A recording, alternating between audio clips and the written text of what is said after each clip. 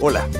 Te estaba esperando para que juntos hagamos unos ricos tallarines gratinados al horno con pollo. ¿Estás lista? Manos a la obra.